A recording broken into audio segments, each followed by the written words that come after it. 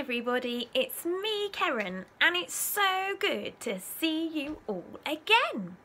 I'm going to read another story to you today and I do really hope that last week's story helped you remember that God has everything in his almighty hands and he is always with us. Well, Anyway, before I read you this week's Bible story, I want to show you something. Something really special because I've been given a present. Have a little look at this present. what do you think could be in my present? Why don't you have a little think? Perhaps you can shout it out to me. It's quite small. It's got a lovely bow on it. It looks really exciting. Oh, but hang on a minute. There's a little note on the back. Let me read it out to you. It says, a very special gift for Keren, but do not open until Easter Day. Well, Easter Day is next Sunday. That means I've got to wait one, two, three, four, five, six, seven days till I can open my present. I don't know if I can wait seven days to open my present. Do you think you could wait a whole week to open a present that you were given? Do you think you could be really patient and wait? If you think you could do that, give me a nod. Or oh, there seems like there's quite a few of you who could wait to open a present. Well, hopefully I can be a bit more like you and be patient and wait. Well, I'm going to pop this present over here so I'm not tempted to open it. And let's have a look at our story for today. Now, Last week, I talked about the Bible being full of stories about people who were facing tough times and huge challenges. Well, in our Bible story today, it's about Jesus and he faces a really, really huge challenge. Let's find out what it is. Right, here we go. Here are the pictures. So, Jesus was with 5,000 people that is a lot of people. That would be more people that could fill our church on a Sunday morning. Loads and loads of people. They'd all come to hear about Jesus and they'd all come to find out about what he had to say about God. Anyway, they had listened to him all day. And then Jesus' friends came up to him and said, we need to feed those people. They haven't had any food all day and they're looking and feeling very, very hungry. So Jesus said, We'll feed them. well, Jesus' friend said, With what? We don't have any food. Jesus said, Go and ask all the people and see if anybody has got some food to share. Well, that's what Jesus' friends did. And would you believe it?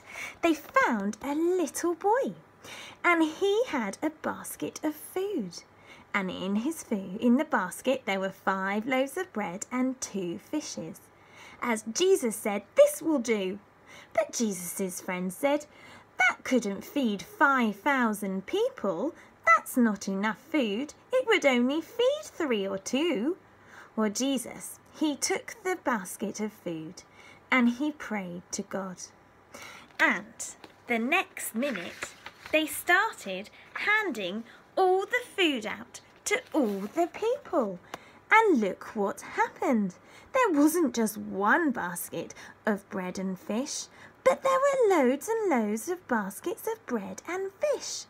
Jesus had made all this food for all the people. And when Jesus' friends had handed the food out to everybody, there was food left over. Wow! So Jesus managed to feed 5,000 people just using five bread rolls and two fish. Well, when I read the story, it reminded me that God has given us all we need. And we've got so much to be thankful for. I'm really thankful that somebody has given me a present. Now, some of you might know that today is actually Palm Sunday. And at Palm Sunday, we celebrate the time when Jesus rode on a donkey to Jerusalem. And people there were calling out Jesus and calling him king and waving the palm branches all around. We did that story in Little Church a little while ago, a couple of weeks ago actually. And uh, this story helps us to remember that in seven days' time we get to celebrate Easter, the day when Jesus died on the cross for all of us. The same day I get to open my present. So I wonder, what could I do while I wait for Easter and while I wait to open my present? Well, I think I could take some time to think about and remember pray to praise God for all he's given me. Just like in the story when he could give all that food to all those people.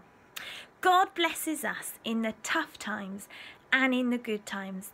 And for me, when I look around and I know everything is all a bit different and sometimes a little worrying, I can still see God in my life.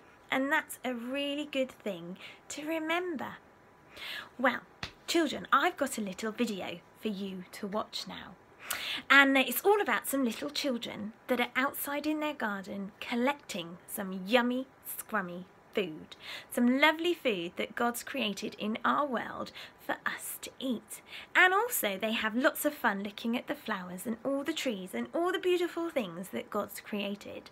I want you to come back and tell me all the yummy, scrummy food that those children were collecting and picking in the garden.